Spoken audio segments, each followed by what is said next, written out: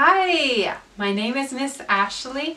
I work as a library assistant and storyteller at Council Tree Library, part of the Poudre River Public Library System. Today I'm going to share an element that we use in story times quite a lot, and that is our scarves. And if you have any kind of piece of fabric, um, it can be a scarf, it can be a handkerchief, it could be um, a hand towel or anything, feel free to pause the video and then come back with it and join me.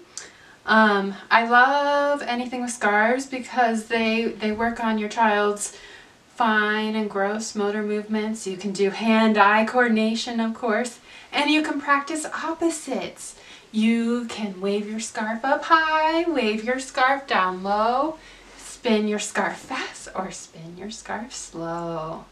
So that's a fun practice as well. I'm going to teach you two rhymes today. And our first one is called um, Little Bo Peep. And that we're going to be hiding our scarves. We're going to pretend they're sheep. I'll show you how it goes.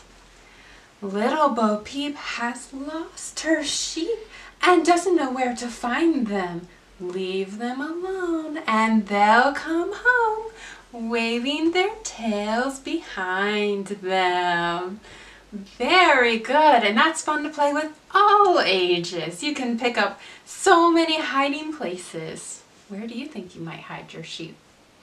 And the second one is called Popcorn Kernels, and we are going to scrunch up our scarves in this song so that they're a little kernel. All right, here we go.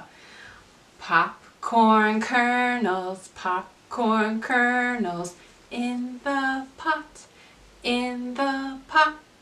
Shake them, shake them, shake them, shake them, shake them, shake them, till they pop, till they pop.